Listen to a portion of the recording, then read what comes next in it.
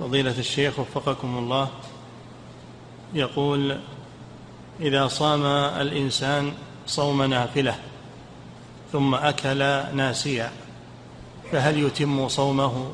نعم يتم صومه لأن النسيان معذور نعم فريضة أو نافلة نعم